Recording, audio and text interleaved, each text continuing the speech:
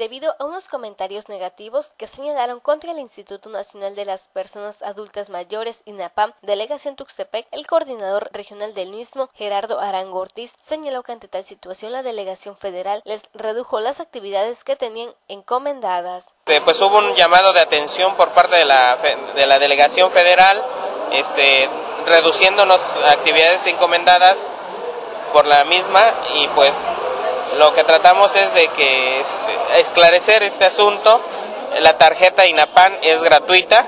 Abundó que tuvieron una reunión con personal de la delegación federal luego de que en un portal de noticias se denunciara el cobro excesivo de las credenciales del instituto, cosa que desmintió ya que aseguró que la tarjeta del INAPAM es gratuita explicó que ellos indicaban las credenciales con la autorización de los mismos adultos mayores y por esto se le cobraba algo significativo. Desde estos momentos y por órdenes del Departamento de Afiliación y Estadística, este, tenemos prohibido enmicar dentro de las instalaciones.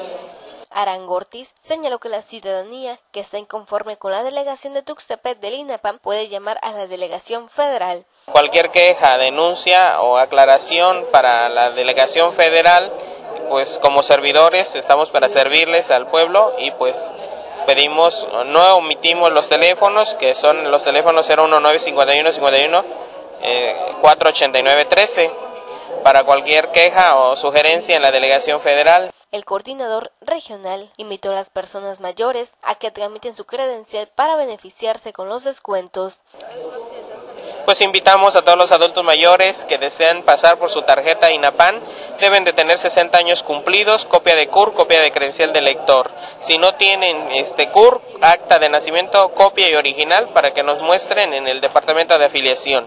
Con cámara de Edgar del Río informó para TV Bus Dora Timoteo.